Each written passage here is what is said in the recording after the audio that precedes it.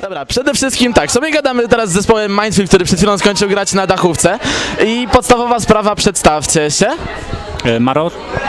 Panku, Paweł, tak, na dobry początek, no to wam gratuluję koncertu, bo generalnie jeśli chodzi o, o, o obecność ludzi i publiczności, to jak na razie z tych, co byłem koncertów, to mieliście chyba jedną z, z lepszych frekwencji. Wiem że, wiem, że dalej nie ma, że tak się wyrażę, urywu dupy, ale, ale, ale, ale jest nieźle. A takie ten, pierwsze pytanie to tak w kwestiach względnie marketingowych. Pierwsza pochwała, bo mi się strasznie podoba to, co wyście napisali na stronie. Po pierwsze to, że tworzycie kompletny album, nie, nie, nie zestaw piosenek, który, który jest sobie, każdy funkcjonuje indywidualnie, tylko, tylko jest to jakąś, jakąś całością. No przyjemności posłuchać miałem niestety nie, nie, nie, nie wszystkich, tylko to, co macie na stronę. Ale w ogóle skąd ten y, pomysł, oprócz tego, żeście się wychowali na, na, na kompletnych albumach, prawda, i, i tak dalej, skąd w ogóle pomysł, no bo to jest jednak w sumie nie, niecodzienne. Teraz każdy zespół jednak robi, mam pięć, hi- pięć hitów na, na płytę, prawda, reszta to są jakieś zapychacze. Więc skąd ten pomysł zrobienia takiego jednego kompletnego albumu historii, razem jeszcze z tego co wiem, to z okładką, ta, która też ma jakoś wprowadzać w klimat. dokładnie tak. y, To znaczy okładka, wiesz co, wiesz, to nie jest też taki typowy album, jak to się mówi, koncept album, tak? To jest po prostu całość dla nas. Tam wiesz, nie ma jakiejś opowiedzianej historii jednej, że ktoś szedł przez pola, później się obudził gdzieś tam i na końcu został królem, tylko po prostu wiesz, życie nam dostarcza bardzo dużo tematów, które jakby złączyliśmy w całość, w jedno. E, oczywiście to raczej nie są takie jakieś banalne rzeczy, e, wesołe też, nie? E, natomiast e, muzyka, wiesz, fajnie się słucha moim zdaniem płyt takich właśnie, gdzie to wszystko płynie, leci. E, jakiś ma, wiesz, wpływ na, na, na ciebie, no nie wiem, to tak po prostu, że możesz sobie założyć słuchawki, e, założyć słuchawki i odlecieć sobie w jakiś tam, na jakiś tam okres czasu, a nie tylko na 3 minuty i później następny odlot, a później następny i później zgłupiejesz w pewnym momencie. Także takie jest założenie nasze po prostu. Było, a teraz zobaczymy jak będzie dalej. Nie, bo właśnie strasznie zastanawiam, bo ja też, też się wychowałem na winylach, też się wychowałem na, na, na albumach, które były jakąś całością i, i strasznie, strasznie płaczę i ubolewam nad tym, że teraz się tego już nie spotyka tak naprawdę. No i kolejna pochwała marketingowa, prawda, czyli wydawnictwo wasze na winylu. Limitowana edycja, co mnie trochę boli, bo pewnie sobie nigdy go nie, nie uda mi się kupić. E, ale, ale, ale strasznie, strasznie, mi się to podo- po, strasznie mi się to podoba, bo teraz sobie kompletuję. Ale to tyle na pochwał, bo teraz jeszcze takie, takie małe opierdzielenie marketingowe. Czemu piszecie, że wasza muzyka jest nieprzyswajalna, znaczy średnio przyswajalna? Ona jest średnio przyswajalna za pierwszym razem, tak mi się wydaje. Ona jest, wiesz, na dłuższą metę jest bardzo przyswajalna, wiesz, powiedziałbym, że... Znaczy, zresztą kurczę, no... Ciężko mi też o tym mówić, bo wiesz, no nie ma co jakoś tam, że tak, nie wiem, nie chcę tego brzydko określić, ale brandzlować czy coś takiego się... No. Natomiast myślę, że to jest muzyka taka, która wymaga uwagi przede wszystkim. Czyli posłuchasz ją raz przy pizzy, y, i gdzie nie zwracasz na nią za bardzo uwagi, to to ci nie wejdzie w łeb. To musisz się jakoś tam skupić. Paweł, powiedz coś. nie, na przykład y, dostajemy dużo y, opinii polegających na tym, że na przykład ktoś posłuchał y, raz płyty gdzieś na, na wieży, okej, jest, jest y, ciężar, jest fajnie. I bardzo dużo osób nam mówi na przykład to, że później sobie puściłem to na słuchawkach po prostu usłyszałem takie rzeczy, których w życiu bym nie usłyszał w normalnych warunkach. Po prostu o co chodzi? Płyta wymaga skupienia. Też to wynika z tego, y, że wychowaliśmy się na takich płytach, jak, jak y, nie wiem, The Wall Floydów, czy, czy, czy nawet e, Animatula, które, które wiesz, no nie da się tego tak sobie do kotleta puścić, bo, bo cię to tylko zdenerwuje, no bo, bo jednak, jednak e, dobra, są tam utwory, które, e, e, przy których można sobie poskakać, ale, ale głównie no jest to przeplecione różnymi klimatami i no i ja osobiście uważam, że ktoś, kto, kto chce sobie puszczać tego, żeby sobie, nie wiem, sprzątać przy tym, to, to, to lepiej niech nie włącza, bo tylko go to zdenerwuje. Też kiwasz głową, też masz coś do powiedzenia w tym klimacie? W tym, w tym temacie? Wszystko już powiedzieli. Ja tak zawsze, na końcu i nie mam już nic do powiedzenia, no. Żeby to była twoja funkcja w zespole, tak? Kiwanie głową? No widzisz, gdzie stoję, nie? Popatrz, gdzie mój zestaw jest. Podobno czasami ci, których nie widać, nie, nie widać tak dobrze są najważniejsi. Nie, wiesz, e, no tu masz rację, bo, znaczy nie, może nie najważniejsze, e, tylko chciałem nawiązać, wiesz, do tych, e, e, do tych teł, że tak powiem, które mamy na płycie i faktycznie jak słuchaliśmy jeszcze przed nagraniem płyty i bez tych rzeczy, takich e, jakichś mrocznych, Przestrzennych. przestrzennych e, brzmień, to faktycznie numery były takie puste, nie, no nie komponowało się to wszystko. Zwyczajne takie suche, o, że tak powiem. A po dodaniu takich e, smaczków to naprawdę ta całość, robi się z tego całość. Ja jeszcze tak ci przerwę, bo to nie chodzi o to, że o- po dodaniu nagle to się zrobił, wiesz, trzeci wymiar i wow, nie, jest hit. Nie, tylko zaczęliśmy dodawać, właśnie czegoś nam brakowało, zaczęliśmy dodawać te tła. E, I w tym momencie też ta muzyka jakby zaczęła ewoluować, dobrze mówię.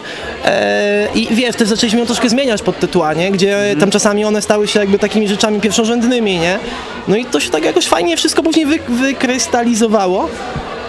Myślę, że wyszło fajnie, bo no po prostu przede wszystkim, tak jak on kiedyś powiedział gdzieś tam, że nie chcieliśmy nagrać kolejnej metalowej jakiejś tam kolejnej płyty, no nie wiem, no nie, nie, jest, nie jest problemem to, żeby wyszło 4-5 gości i, i zaczęło, ze- że tak powiem, napierdziel. Zróbmy coś innego, kurde, a nie, nie to, co robią wszyscy, nie?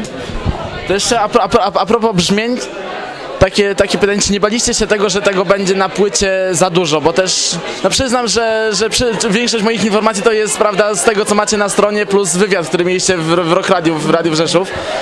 I, I tam mówiliście, że dodawaliście różne właśnie e, różne instrumenty, różne, różne, różne warstwy, różne ścieżki. Czy, czy nie, nie, nie, było i jak w sumie jak kontrolowaliście to, żeby nie było tego po prostu za dużo, żeby to się nie nagromadziło za mocno? Myślę, że każdy, kto nawet nie robi jakiejś elektroniki na płytach czy coś takiego, do końca nie wie, czy z czymś nie przesadził, czy czegoś nie jest za mało, no bo, no bo wiesz, no nie ma przepisu na dobrą muzykę, no Nie po możesz być prostu obiektywny względem swojej muzyki No. też. e, jednak e, zawsze się tego baliśmy, oczywiście, ale, ale, ale nie było tak, że Jezus chłopy, nie róbmy tego, bo, bo to się nie spodoba, po prostu my czuliśmy, że to jest y, coś, co nam się bardzo podoba. Nam przede wszystkim. Co będzie dalej, to już nie nam oceniać, ale z tego co słyszę tutaj dookoła, no ludzie to docenili bardzo. Ja tak od siebie powiem, bo generalnie muzyka, którą wygracie jest od moich gustów bardzo, bardzo daleka. A, I też odniesienie właśnie do tej nie, nieprzyswajalności waszej muzyki, że dlatego się spytałem, bo posłuchałem sobie tych kawałków, które macie na stronie udostępnione i no przyznam szczerze, no to nie było to, że nagle zacząłem szaleć, prawda, i stwierdziłem, kurde, kocham tych gości, ale słuchało mi się tego naprawdę fajnie, naprawdę przyjemnie. I, i, i stąd właśnie, stąd, stąd, stąd, stąd, stąd, stąd to pytanie. Oczywiście to, to też nie chodzi o to, że wiesz, my mówimy, że ona jest nieprzyswajalna, wow, i robimy sobie taką wielką otoczkę, że jest... Crimson to to nie jest. No właśnie, ale...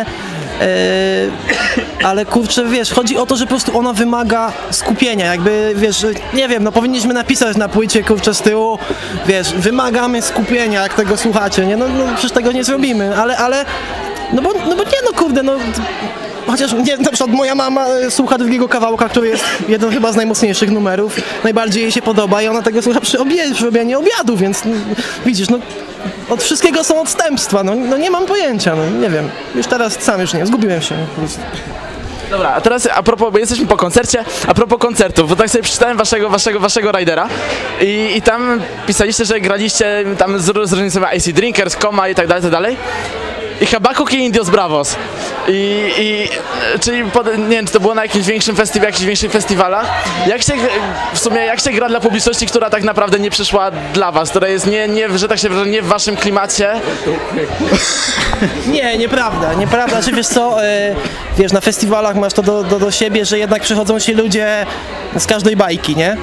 Czyli nie tak, że wiesz, są fani Slayera i lecą pomidory na systemowy down, tak jak było w Polsce swego czasu, tylko, tylko wiesz, no też starają się słuchać, nie wiem, no naprawdę jak, już gdzieś gramy na takich większych koncertach, jak nam się uda, bo też jest ciężko się wcisnąć, czy na przykład graliśmy przed Acidami, czy przed Komą, to powiem Ci, że zawsze y, zbieraliśmy bardzo dobre, y, jak to się mówi? Recenzje, opinie, później wiesz, ludzie kupowali później płyty i tak dalej, także byłem też zaskoczony tym w jakiś sposób, także kurde, im więcej takich koncertów to spoko, nie? Natomiast mówię, no takie rzeczy jak Habakuk, czy tam Indios Bravos, to było na takich typowych, wiesz, jakieś Juvenalia, czy coś tam, tam było tych zespołów N, czy tam załóżmy pięć jednego dnia, chociaż z Gutkiem, z. Gutkiem było całkiem sympatycznie, nie? Tak, tak. Opowiedz Nie, to to już może nie. No opowiedz o tym, bo Gu- Gutka, Gutka poznałem, także mniej więcej... Bardzo, sympaty... bardzo sympatyczny człowiek, przede wszystkim bardzo miły. Tak, poznaliśmy go jak przyjechał. Strasznie lało, to było w Rzeszowie. Pomagaliśmy im pchać busa z błota i odwdzięczył się. I bardzo przyjemny człowiek, także jak lubisz, widzę, że pytasz o to, więc pewnie jesteś regowcem. E, także bardzo Jeszcze, jeszcze jeśli chodzi o, o takie koncerty, tak jak pytałeś, jak się gra dla ludzi, którzy nie przyszli dla nas. Wiesz co, jakby był zamknięty koncert Habakuk, to pewnie byśmy tam nie zagrali. Nawet jak, no może jakby nam ktoś to zaproponował, to byśmy powiedzieli, chodźmy, może będzie dwóch takich, dla których warto zagrać, bo, no bo wtedy to jest jednak hermetyczna tam jakaś tam publiczność. Tu mieliśmy duży festiwal, także no wpisaliśmy sobie to, bo ładnie to wygląda, ale tak naprawdę e, tam kupa ludzi przyszła dla różnych ludzi. Po nas grał Jamal, czy, czy coś Soku innego. i Pono. Sok- Soku i Pono Bardzo też fajny bardzo, kolesie. bardzo fajny koncert i bardzo fajny I oczywiście pozdrawiamy Gutka. Znaczy wiesz, przede wszystkim fajnie, takie koncerty są świetne dla wyrobienia sobie jakiegoś takiego światopoglądu, bo wiesz, ja tak y, czasami sobie tam dawniej temu myślałem, że o, tutaj ci hip-hopowcy to pewno wiesz, tam no nie, nie, nie pogadasz, nie? A wręcz przeciwnie, no naprawdę świetni ludzie, kurczę, no i, i, i no nie wiem, ja tam może jakoś zmieniłem swoje poglądy przez dłu- dłuższy, dłuższy czas. No, uważam, że dawniej byłem idiotą. Dobra, to jak już jesteśmy, to twoja przeszłość. Dlaczego się wstydzisz skórzanych spodni? Nie, no nie wstydzę się. To wiesz co, to chodzi o to, że ja byłem zakochany strasznie, znaczy mój mózg był właśnie bardzo hermetyczny i, i słuchałem tylko, tylko Metaliki, AC Drinkers i, i wiesz, no, ale do dzisiaj mi to zostało, natomiast no wiesz, no byłem zapatrzony w Tytusa, kurczę, ma takie fajne spodnie wiązane z boku, też taki chcę być, nie? nawet kowbojki nosiłem, ratą rany boskie. No to mówię ci, no tylko konia dadzik człowieku odjeżdża i w, w kierunku zachodzącego słońca, nie? Ale nie no słuchaj, no każdy, nie wiesz, gorzej mają ci, co byli załóżmy teraz są wielkimi metalowcami, a kiedyś byli skinheadami, to oni się mają czego wstydzić, a Nie, skinheadzi są spoko. Nie, no. A metalowcem też byłem kiedyś, też miałem długie włosy strasznie i też się... Wiesz, ja jestem za tym, żeby totalnie nie szufladkować ludzi i to wszystko jest tak durne po prostu, tak samo jak szufladkowanie muzyki, idiotyzm po prostu. Cieszę się, że tak, tak uważasz, bo w sumie to jest, no, no jest zdro, zdrowe bardzo podejście. Dobra, w sumie, będzie ostatnie pytanie, bo nie będę chciał, nie chcę was męczyć za bardzo też pokoncertowo. E, pytanie, które zadaję... Bardzo przystojnie. A dziękuję ci bardzo.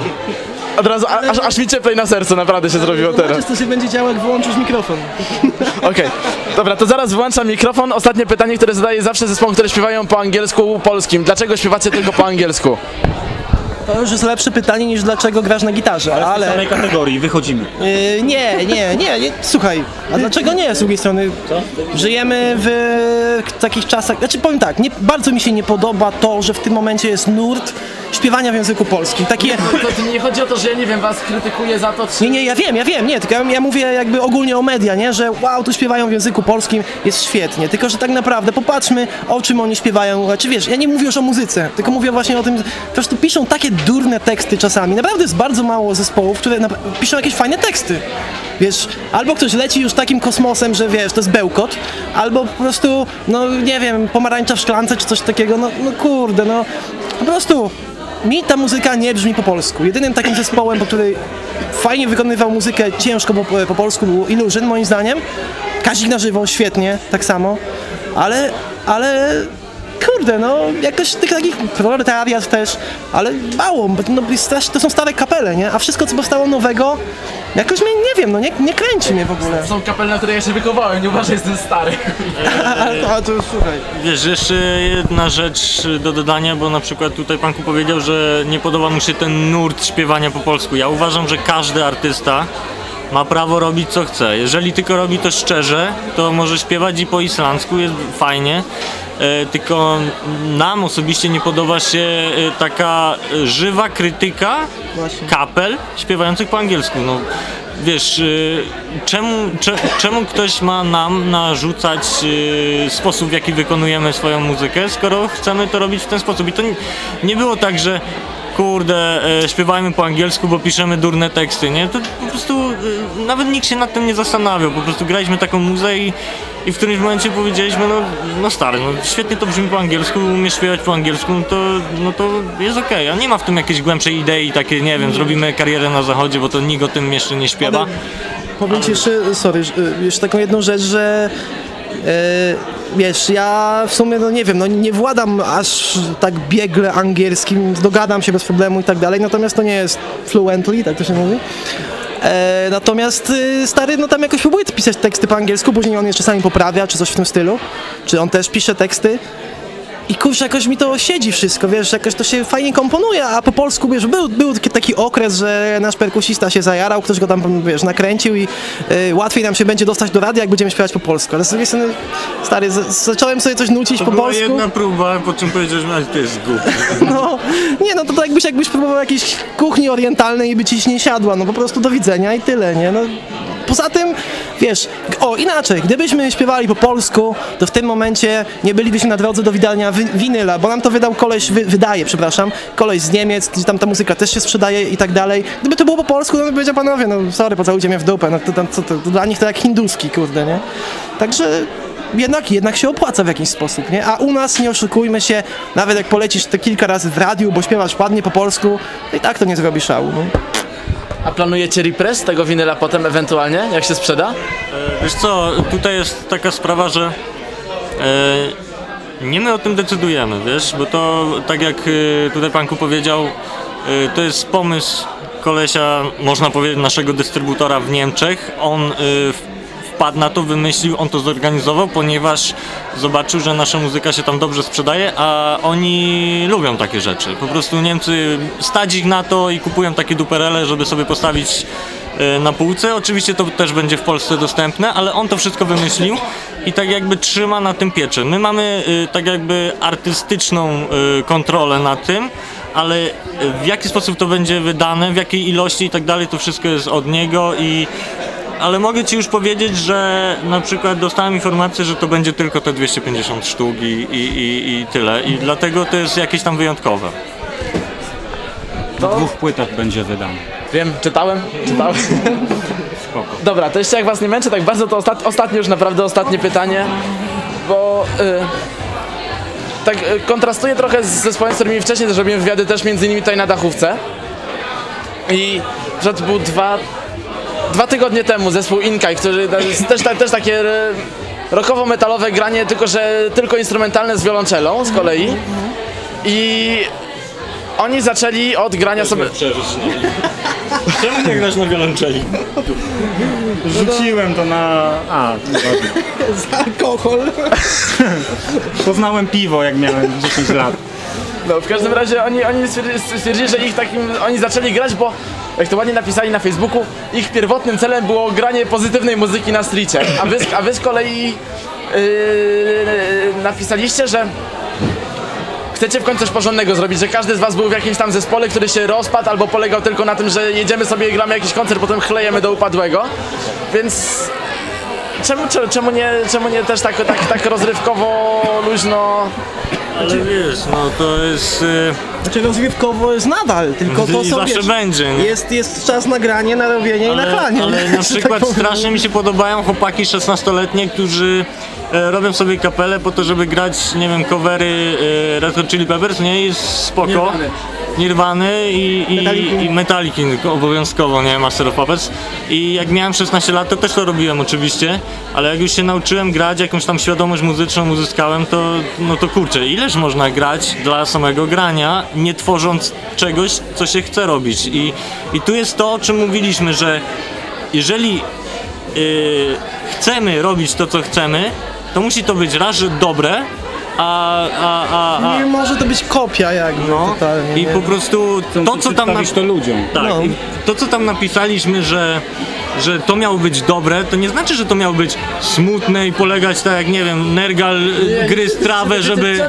Tak, no. Dlatego, że nie wiem, nie macie kolejnego E, koncertu, Tak, to ale- jest, wiesz, nadal muzyka rozrywkowa, tylko że e, ma za tym iść cel, mały, wielki, ale jakiś cel, żeby to szło do przodu. Jeżeli to ma być tylko spotykanie się w niedzielę, żeby sobie postukać, no to możemy iść na ryby, na grzyby, e, a, a nie musi z tego być płyty. Tu Albo miała być płyta, tu miały być koncerty, tu miało być, no, coś dalej. No nie, no po prostu chodzi o to, wiesz, tak jak obserwuję też, e, no bo jesteśmy z Jasła, więc ten tam e, rynek różny tam, wiesz, który, jak, jak te zespoły grają i tak dalej, e, coraz więcej jest fajnych zespołów, ciekawych przede wszystkim, że wiesz, nie, nawet nie chodzi, które trafiają w moje gusta, nie, bo e, na przykład ostatnio, tak, ostatnio widziałem zespół Ku- Kuki Pał, tak on się nazywał, grali na tej rockowej nocy też i wiesz, to jest takie reggae, ska, coś w tym stylu, ale takie fajne, ambitne. To mi się spodoba. I stary, Polecam. kurczę, no rozwalili mnie po prostu, wiesz, pierwszy raz ich widziałem i no to świetny koncert energetyczny, wiesz, nawet zrobili w pewnym momencie cover Seek and Destroy gdzieś tam wpletli w taki właśnie, wiesz, rytm, nie? To po prostu, no ja, wiesz, stałem z rozdziawioną buzią, także fajnie, no ale, ale wiesz, jak słyszę, kurde, kolejnego czasami Slayera, czy Metalikę, czy cokolwiek innego, no to nudzi to jednak, wiesz, to no... Jak chcę posłuchać Slayera albo Metaliki albo AC/Dów, to słucham właśnie ich, a nie, a nie, no wiesz, no, kopii tego, nie? Chciałem pozdrowić swojego synka, Leonarda. Pozdrawiam. My nie mamy dzieci, ale ja mam dwa koty, więc bardzo pozdrawiam Oziego i Malinkę. Chciałbym pozdrowić moją ukochaną, do której właśnie mam napisać, zadzwonić w sumie i usprawiedliwiłem się tym, że rozmawiam z tobą. Ale i tak będzie miał przerąbane. No tak to was. To jeszcze ostatnia prośba tylko o pozdrowienia dla naszego cudownego radia. Macie ściągę. Radio. Radio 17. To jest na, na, na, nazwa naszej, cudownej rozgłośni. Tak, logotyp jest bardzo fajny. bo ja myślałem, że rad, rad 10. Nie, 17. Aż tak młodzi nie jesteśmy. Także tylko szybkie pozdrowienia i daję wam spokój. Będziesz mógł dzwonić do swojej ukochanej. Pozdrawiamy wszystkich słuchaczy Radia 17. Yy, Polecamy słuchajcie naszą muzę i nie tylko naszą, słuchajcie, dobrej muzy. 20 listopada gramy też w Krakowie, W Krakowie w Lizardzie, tak. Więc przyjdźcie i, i co no, bawcie się Zapraszamy na dobrze koncerty i kupujcie płyty.